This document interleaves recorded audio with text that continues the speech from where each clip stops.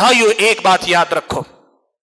ایسے حالات میں حکومت نے جب یہ سارے احتجاجات دیکھیں، یہ جو لوگوں کو سڑکوں پہ نکلتے دیکھا ہے، تو اب حکومت نے کیا کیا ہے؟ کئی طریقوں سے اس معاملے کو ٹھنڈا کرنے کی یا اس مسئلے کو ان کے دعوے کے مطابق حل کرنے کی کوشش کی ہے۔ میں یہ بات آپ کے سامنے کہنا چاہتا ہوں کہ جب اس ملک کا عام شہری، عام باشندہ، کیا مسلمان، کیا ہندو، کیا یہاں کا کرسچن، کیا یہاں کا سکھ سڑکوں پہ جب نکلا تھا تو حکومت کو غلط فہمی تھی تو وہ بہت کھلے انداز میں اپنے مقاصد کا اعلان کر رہی تھی۔ وہ پہلے صاف تھے اپنی بات کہنے میں، لیکن یہ غیر متوقع ٹکراؤ جب دیکھا ہے تو اب یہ صورت حال ہے کہ حکومت نے اب پینترا بدل لیا ہے۔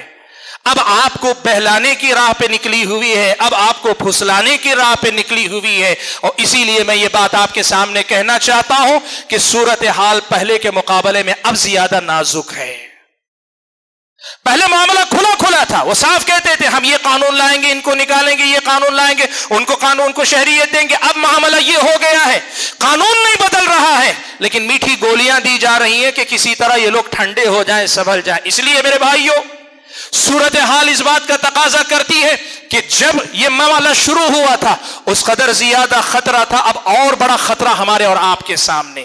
اس وقت آپ کو پتا ہے حکومت کیا کر رہی میرے اپنے سامنے بڑی محدود معلومات ہے یہ ملک پیمانے کا معاملہ بڑی محدود معلومات کی روشنی میں آپ کے سامنے یہ کہہ رہا ہوں۔ حکومت استعمال کر رہی ہے کئی قسم کے راستوں کو کہ کسی طرح لوگوں کو پہلا پھسلا کر اس معاملے کو ختم کر دیا جائے۔ ان معاملات کو ہمیں سمجھنا پڑے گا تاکہ ہم اپنی منزل تک پہنچ سکیں۔ پہلا طریقہ ہر علاقے کا جو پولیس اسٹیشن ہے پولیس اہلکار حکومت کی بولی بول رہے ہیں اور جو ذمہ دار ہے پتہ نہیں ہو سکتا یہاں بھی تجربہ۔ ہم نے دس بیس جگہ کے ذمہ داروں سے تو سنا ہی ہے۔ سب جگہ حکومت کی نمائندگی کرتے ہوئے پولیس یہ سمجھا رہی ہے کہ آپ کے خلاف یہ قانون نہیں ہے، آپ کا کوئی نقصان نہیں ہوگا۔ آپ لوگ مطمئن ہو جائیے، آپ لوگ احتجاج مت کیجیے آپ لوگ پریشان مت ہوں، سب ٹھیک ہو جائے گا، کچھ نہیں ہے۔ حکومت کی کوئی غلط نیت نہیں ہے۔ میرے بھائیوں ہم نے جیسے پہلے کہا دو لفظ بڑھا دو، اس میں حکومت کا کوئی نقصان ہے؟ دو لفظ بڑھا دو، اس میں کوئی حکومت کا نقصان ہے؟ کیوں یہ ساری مشنری لوگوں کے پیچھے لگائی گئی ہے؟ اس لیے کہ ان کو نظر آ رہا ہے کہ اب ٹکرا کر نہیں نکال سکتے کام، تو اب پہلا پھسلا کر اب کام نکالیں گے۔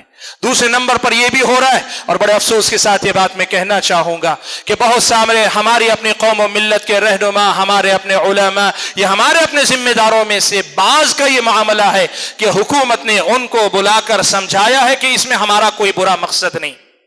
میں حسن نیت کے ساتھ، حسن زن کے ساتھ یہ سمجھتا ہوں کہ ان کی نیت شاید غلط نہیں ہوگی۔ لوگ جیسے ان کو گالیاں بھی دے رہے ہیں، کہنے والے کہہ رہے ہیں قوم کے غدار ہیں، پیسہ لے لیا، فلاں لے لیا ہے۔ لوگ کہہ سکتے ہیں، ان کو اپنی زبان ہے، کہہ سکتے ہیں۔ میں حسن زن سے بھی کام لوں تو میں یہ بات کہنا چاہوں گا ذمہ داروں کے سامنے کہ آپ یہ بات سمجھیں کہ اس معاملے میں میں اور آپ جیسے لوگ ہم صرف علماء ہیں۔ قانون کی پیچیدگیاں ہماری سمجھ میں پوری طرح نہیں آتی ہیں۔ اس قوم کے جو پورے کے پورے سمجھدار لوگ سڑکوں پہ نکلے ہوئے وہ لوگ جو ایڈوکیٹ ہیں، جو پرانے آئی اے ایس ہیں آئی پی ایس ہیں، یا بہت سارے، ایسے لوگوں کو ساتھ لے جا کر بات کرو، کہیں ایسا تو نہیں کہ آپ کو پہلا پھسلا کر، دھوکہ دے کر آپ کے ذریعے آپ کی قوم کو شکار کیا جا رہا ہو۔ آپ یہ سمجھنے کی کوشش کریں۔ میں وہ نہیں کہوں گا جو لوگ کہتے ہیں کہ آپ بک گئے، آپ لٹ گئے، آپ فلاں ہو گئے۔ اللہ تعالیٰ آپ کی نیتوں کو جانتا ہے۔ جیسے آپ ہیں، آپ کے ساتھ اللہ ویسے معاملہ کرے گا۔ لیکن کم از کم حسن زن کے ساتھ یہ تو کہہ سکتا ہوں کہ جو حکومت اتنے سیدھے سے مسئلے کو کہ قانون میں مسلمان کے لفظ کا اضافہ کر دے، کیا نقصان ہے حکومت کا اس میں؟ حکومت کہتی ہے کوئی مسلمان آنے والا نہیں، تو قانون میں ایک شک بڑھا دو، ملک میں امن و امان ہو جائے گا، تو نقصان کس بات کا؟ کوئی نقصان ہے حکومت اس کا جواب دے سکتی ہے کہ لفظ مسلمان اس امینڈمنٹ میں بڑھا دینے سے اس کا کیا جاتا ہے؟ اتنے سیدھے سے مطالبے کو ہم منوا نہ سکیں اور قوم کی طرف سے، حکومت کی طرف سے قوم کی نمائندگی کریں۔ میں یہ بات جانتا ہوں کہ ایک عجیب صورتحال اس وقت سمجھ میں آتی ہے۔ قوم و ملت کے ذمہ داروں کے حوالے سے ہمیں یہ پریشانی ہے کہ حکومت نے جب قانون نافذ کیا تھا، ہماری بات حکومت کے ساتھ کرتے ہوئے ایک ذمہ دار بہت کم نظر آئے۔ ہم عوام کی بات حکومت تک کرتے ہوئے ذمہ دار کم نظر آئے۔ حکومت کی بات ہم عوام کو سمجھانے والے ذمہ دار بہت سارے نظر آئے۔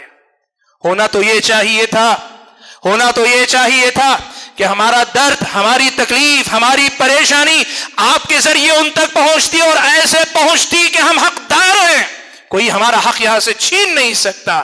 بھائیو، میں اس سب کے باوجود بھی یہ بات کہنا چاہوں گا کہ حکومت اس راستے سے بھی پہلانے کی کوشش کر رہی ہے، آپ ہوشیار رہیں، یہ میں آپ کے سامنے کہنا چاہ رہا ہوں۔ ہمارے اپنے لوگوں کے راستے سے بھی بات آئے، بات صاف رہے، ہم چاہتے کیا ہیں؟ اس ملک کے عزت دار شہری، برابر کے حقدار شہری بن کر رہنا چاہتے ہیں اور وہ ہوگا اس قانون کو بدل کر کہ واپس دوبارہ جو ہے مسلمان کا نام اس میں جوڑا جائے تاکہ یہ قانون پھر ہمارے سامنے نہ ہو۔